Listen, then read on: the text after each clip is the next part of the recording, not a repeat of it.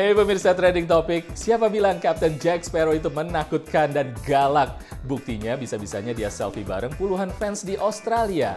Aktor Johnny Depp punya cara jitu untuk membuat senang para fansnya.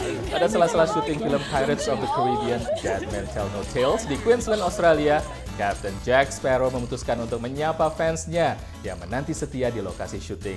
Dan langsung aja semua fans meminta foto selfie bersama.